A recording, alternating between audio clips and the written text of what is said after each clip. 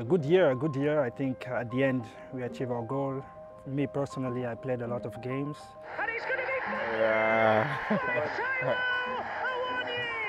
sum up last season it was literally like a roller coaster. There was so many highs, there's so many lows.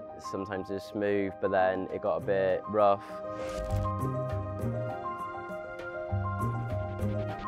Think it feels more than a year because looking at the old, the old squad, the team, the, the media, everyone, out the togetherness we had, I think it felt more than a year to be honest. Yeah, I think the team welcomed me very well, the staff too, so it was quite easy to be part of this team. And uh, English football, I was ready, I think. I think the support last season was massive. It was more than what I expect. It feels like I've been here for, for years. I think that's just because of like how well I've settled in. Um, normally it takes time to settle in at a club, but I think with this one, especially with the group of lads, um, they've obviously made me feel very welcome and like so with all the other new lads. And yeah, um, feels like I've been here for a long time, but like I said, it's only been a season, so may that continue. Let's see if I give you this, mate. And then when you're Oh. ready, yeah, yeah. whenever you're ready, just hit that play, mate, okay? Nottingham Forest have confirmed the signing of Nigerian international forward Taiwo Awoniyi for a club record fee. The 24-year-old coming from Bundesliga club Union Berlin. On a bright, sunny August day.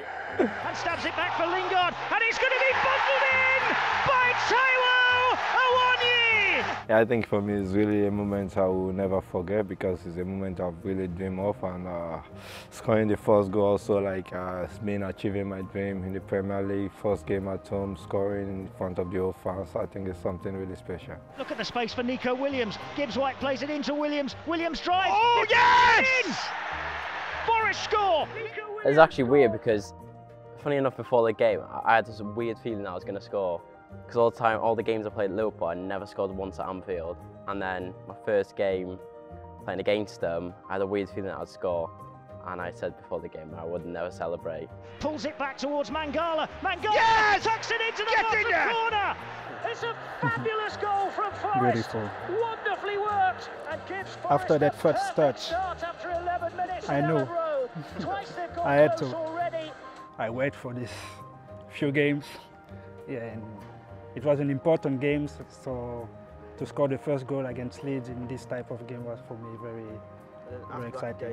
White takes it, back post. Wow. Cook brings it down brilliantly and volleys it in. It's in the yeah!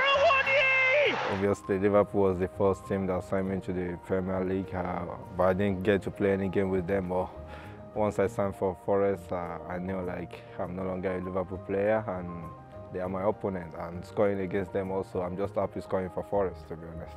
To win it off uh, Jesus and then a great turn. I love this video. Mangala. Good ball as well. Gibbs White down the left hand side, hits the byline, pulls it across. Williams arriving, two got in each other's way. That's the dedication.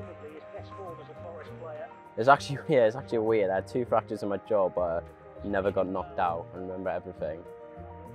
Probably a bad thing. It was so tough because I was finding my feet. It's probably my best games I was playing. Leading up to that, I felt the fittest I've ever been. I Felt comfortable and, like I said, scored against Liverpool.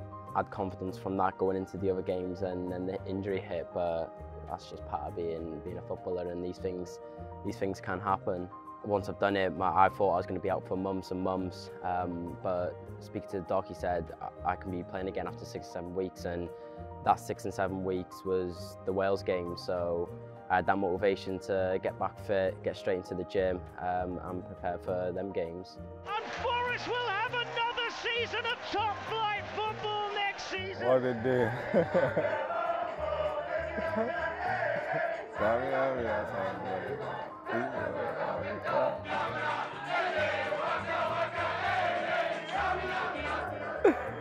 Uh, Some scenes out there, Sergio Aurier and uh, Oran Sergio. almost doing a tank in front of a section of Forest supporters down away to our left. I think there Yeah, are some tears out there definitely. as well.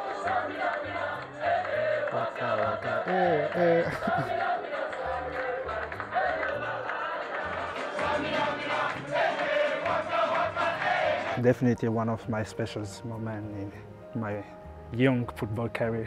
Probably one of the worst parts about being injured is watching the team, and especially in a relegation battle as well, where we need to win. It was it was tough, but uh, like you said, that just comes down to the team spirit. With it weren't just me on the sideline watching; it was every single injured lad there, um, supporting, um, doing everything we can to, to help our team. As a team, I hope we will have an even better season to to fight for even more. Not really stressful like last season. It will be nice. It's been an incredible season, not just for me, for, for the whole team, even the whole staff and everyone in, in the team. The city gun, especially the fans, what a great people they've made for us. last season it was so tough because we had all these new players the team was changing round getting to know getting to know each other not just on the pitch but off the pitch as well um, but now that's all settled we've had a season together we know each other so well now it's just building on that. I think for me last season was a season I will never forget